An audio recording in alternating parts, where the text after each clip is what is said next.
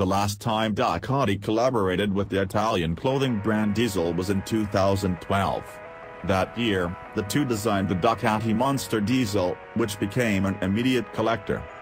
Five years later, and the two Italian icons are at it again. Evolving from Andrea Rosso, creative director of Diesel, and the Ducati Design Center, the new Ducati Diavel Diesel has inspired by a hyperkinetic dynamism of a post-apocalyptic, retro-futuristic world. Playing of the Diavel name, which is Bolognese for devil, only 666 of these motorcycles will be produced. The Ducati Diavel Diesel was unveiled during the Milan Men's Fashion Show, and will make its next appearance at the Motorbike Expo January 20th to 22nd. The bike hits select showrooms, worldwide, in April 2017, not price has been reported.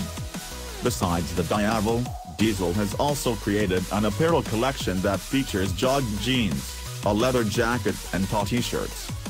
The collaboration with Diesel enabled us to explore original stylistic and technical aspects whilst staying within the Ducati brand and fully respecting its values, said Ducati Motor Holding CEO Claudio Domenicali.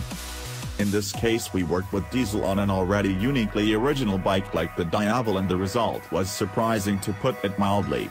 The details characterizing the Diavel Diesel cannot fail to captivate connoisseurs of special bikes.